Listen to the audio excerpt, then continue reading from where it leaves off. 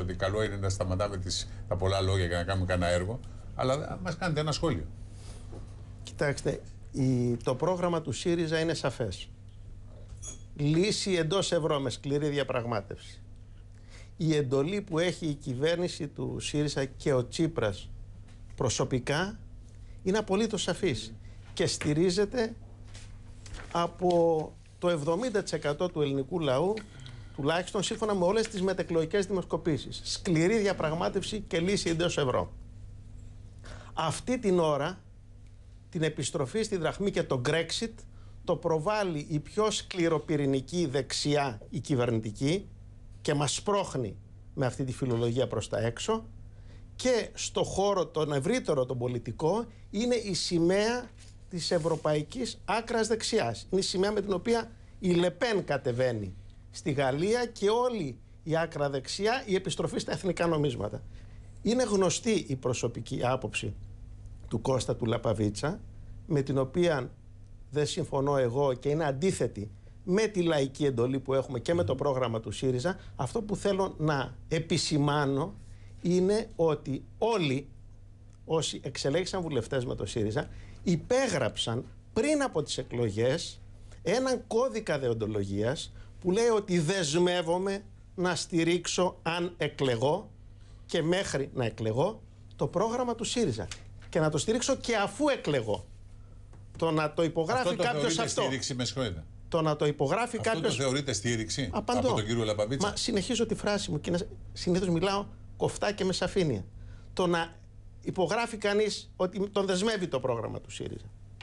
Και αφού εκλεγεί να βάζει στην άκρη το πρόγραμμα του ΣΥΡΙΖΑ και να προβάλλει την προσωπική του άποψη που είναι αντίθετη με το πρόγραμμα του ΣΥΡΙΖΑ, δεν μας βοηθάει. Σημειώνω σε αντίστοιξη αυτού που μόλις άκουσα από τον Κώστα Λαπαβίτσα ότι ο Παναγιώτης Λαφαζάνης που έχει στα πλαίσια του κόμματος υποστηρίξει ε, απόψεις για το ενδεχόμενο εξόδου από το ευρώ όσες φορές τον ρωτούν οι δημοσιογράφοι λέει αφήστε το τι έχω πει εγώ στο κόμμα μου μέσα έχουμε μια συλλογική απόφαση για λύση εντός ευρώ η οποία μας δεσμεύει και αυτό, αυτή η διαφορά δείχνει και το πώς πρέπει να λειτουργούμε.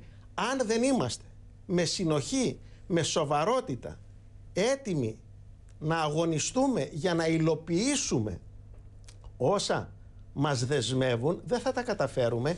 Αυτό είναι θέμα όχι μόνο συνέπεια στη λαϊκή εντολή, αλλά και αξιοπιστίας. Και το δεύτερο, αυτή την ώρα πρέπει κανείς να μετρά και το timing και το ε, ποιον ωφελούν συγχύσεις γύρω από αυτό το θεμα Ναι. Ε, αφού μιλάτε ορθά και κοφτά, λοιπόν, τι εννοούσατε, ε, σε ποιε συμπεριφορέ αναφερόσασταν προχθές που γράψατε το πολύ σωστό και πολύ εύστοχο σταματήστε τα λόγια της συνεδρίαση. Δεν θυμάμαι ακριβώς πώς το διατυπώσατε και κάντε έργα. Προς όλους μας. Προς όλους μας. Αυτή τη στιγμή η κυβέρνηση η ελληνική και ο ΣΥΡΙΖΑ έχουν μια στήριξη μεγαλύτερη από τη δύναμη που μας έδωσε ο πολίτης στις εκλογές. Ο Έλληνας πολίτης και η Ελληνίδα. Και έχουμε και ένα τεράστιο πόλεμο, κύριε Οικονομέα, με στόχο την οικονομική ασφυξία. Επιχειρείται να τορπιλιστεί η συμφωνία πλαίσιο της 20 Φεβρουαρίου με απανοτές δηλώσεις, συνεντεύξεις, φημολογίες, διαρροές, ψέματα, κατευθυνόμενα δημοσιεύματα με στόχο να μην πάρει αυτή τη δημοσιονομική ανάσα. Ε, αυτό που λέει ο κύριος... Και να ρίξουν την κυβέρνηση Τσίπρα πριν απλωθεί αυτό το παράδειγμα και σε άλλες χώρες διότι σε, αυτές, σε αυτό τον 1,5 μήνα έχει κερδίσει έδαφος η προβολή των ελληνικών δικαίων. Ωραία, επί, ε, σε, ε, να τελειώσω ναι, τη ναι, ναι, φράση ναι, μου. ναι. Σε αντίθεση με στερεότυπα που έχουν καλλιεργηθεί χρόνια για τον τεμπέλη Έλληνα, για, τον, για τους νότιους που τρώνε τα λεφτά των βορείων. Εδώ έχει φανεί η αποτυχία μιας πολιτικής, η αποτυχία μιας δογματικά μονομερούς λιτότητας. Υπάρχει μια συζήτηση για στροφή στην ανάπτυξη. Η, η ελληνική κυβέρνηση έχει βοηθήσει να ανοίξει αυτό το θέμα και παίζεται αυτό το παιχνίδι. Αυτή την ώρα λοιπόν εμείς ως χώρα με την κυβέρνησή μας μπροστά πρέπει να τρέξουμε μέσα στον επόμενο μήνα Τώρα, Άντε το πολύ. Επ' αυτού τώρα. Ο κύριος Τσίπρας που λέει στο έθνος ότι θα, θα, θα προσπαθήσει να, να, αυτό, να δοθεί λύση στη Σύνοδο Κορυφής. Τι ακριβώς δηλαδή θα πάει να διεκδικήσει εκεί; Την πολιτική θα, λύση που λέει. Η πολιτική λύση τι θα περιέχει δηλαδή; Που λέει ότι θα δοθεί στη, στο Σύνοδο Κορυφής, ας πούμε. Τι θα τους πει; Θέλουμε να αυξήσει τη ρευστότητα; Ποιο, ποιο είναι το σχέδιο; Χοντρικά, έτσι να μάθουμε να. Κοιτάξτε, το, το πρόβλημα είναι και πολιτικό. Και πριν από όλα πολιτικό. Τι εννοώ; Το καλοκαίρι του 12 η Ευρωπαϊκή Κεντρική Τράπεζα με ντράγκη στο τιμόνι έδωσε τη δυνατότητα στη νέα ελληνική κυβέρνηση την τότε, την κυβέρνηση Σαμαρά, να εκδώσει έντοκα και πέρα του προβλεπωμένου ορίου για να υπάρξει αυτή η δημοσιονομική ανάσα. Το ίδιο ζητούμε και τώρα. Να λειτουργεί χωρίς χρωματιστά γυαλιά. Μάλιστα. Η κυβέρνηση. Το δεύτερο. Δεν μπορείς σε ένα μήνα να ζητάς να γίνουν αλλαγές και μεταρρυθμίσεις στη φορολογία, τη διοίκηση, την μείωση της γραφειοκρατίας, τον περιορισμό της διαφθοράς που 40 χρόνια άφησες να εξελιχθούν σε μπάχαλο με ναι. όλες αυτές τις Θα γυρίσουμε, θα τα εξειδικεύσουμε όλα αυτά στη συνέχεια. να, απαντώ. Δεν δέχτηκα καμία ερώτηση. Επομένως, εμείς αυτό που λέμε είναι αυτή η κυβέρνηση, η κυβέρνηση Τσίπρα, μπορεί να κάνει αυτές τις μεταρρυθμίσεις γιατί δεν την κρατάει ούτε η διαπλοκή, ούτε η ασυλία των ισχυρών, ούτε όλοι αυτοί που έχουν ωφεληθεί από αυτό το κράτος μπάχαλο που άφησαν οι προηγούμενοι μετά από 40 χρόνια διακυβέρνησης. Αλλά για να μπορέσουμε να το κάνουμε, πρέπει να έχουμε χρονική και δημοσιονομική ανάσα. Εμείς δεσμευόμαστε για νοικοκυρεμένα δημόσια οικονομικά. Αλλά ο Σταθάκης έχει καταθέσει το νομοσχέδιο για τα κόκκινα δάνεια δύο εβδομάδες τώρα. Ναι. Γιατί έχουμε πει να το συζητήσουμε. Ναι. Και περιμένει το OK. το νομοσχέδιο για τις 100 δόσει που θα φέρει έσοδα και όχι δαπάνες ναι. και θα ανακουφίσει τα δημόσια ναι, ταμεία γιατί ξύνουμε τον πάτο του βαρελιού ναι, 11 ναι, ναι. μήνες η χώρα. Όχι η κυβέρνηση. Αλήθεια, ναι, 11 ναι. μήνες η χώρα ξύνει τον πάτο του βαρελιού και ζει από τα δικά της. Λοιπόν, αυτό το νομοσχέδιο ακόμη περιμένουμε το OK. Μας κατηγορούν. Το okay.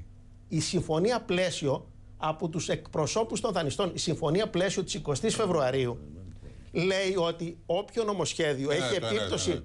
Να το εξηγήσω. Είναι η πρώτη φορά που το λέτε αυτό.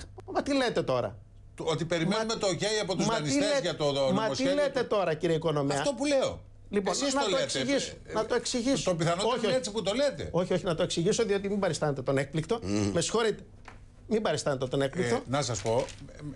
Ε, Λέω. Μην μου αποδίδετε προθέσεις και ακούστε τι θα σας πω. Όχι, μην... Η κυβέρνηση λέει ότι θα τα καταθέσει αυτά ερήμην, ε, ανεξάρτητα από το τι πιστεύουν οι δανειστές. Κύριε, Οικονομέα, κύριε Οικονομέα, ακούστε τι λέω εγώ για να μην δημιουργούμε εντυπώσεις ε, και μάλιστα παραπλανητικές. Η 20η Φεβρουαρίου οδήγησε σε μια συμφωνία στο Eurogroup, την οποία την έχετε διαβάσει κι εσείς.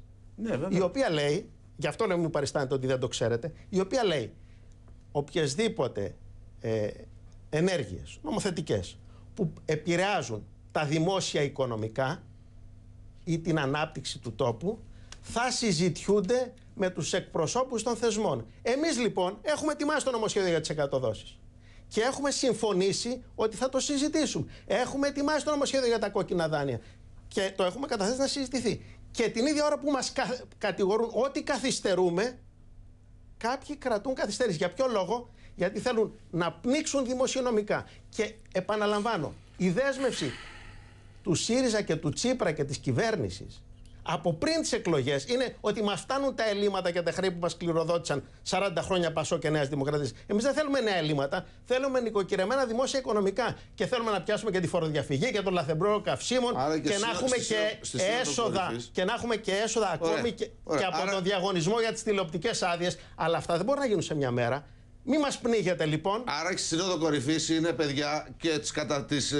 ε, μεταρρυθμίσεις που έχουμε καταθέσει να προχωρήσουμε να, προ... να φύγουν. Ε, Εμείς θέλουμε, εμείς θέλουμε να τρέξουμε έτσι Εντάξει. ώστε μέσα σε ένα μήνα, Μάλιστα. το αργότερο μετά το Πάσχα αμέσως, να υπάρξει η εξειδίκευση αυτής της συμφωνίας για να βγούμε στο ξέφωτο. Ωραία. Από εκεί και πέρα, για να υπάρξει αυτή η εξειδίκευση της συμφωνίας, το ταγκό θέλει δύο.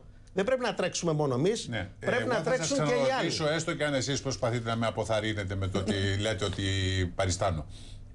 αν δεν μας πούν το OK οι δανειστές για αυτά τα νομοσχέδια τα δύο, με των 100 δόσεων και, το, ε, και τα κόκκινα δάνεια που περιμένουν στα δάκη δύο εβδομάδες, τι θα γίνει; Σε αυτό θα απαντήσει η κυβέρνηση, η οποία έχει πρωθυπουργό, αντιπρόεδρο της κυβέρνησης, ο οποίος εποπτεύει όλο τον οικονομικό τομέα, υπουργούς και κυβερνητικό εκπρόσωπο. Μην περιμένετε από μένα να υποκαθιστώ ε, την κυβέρνηση.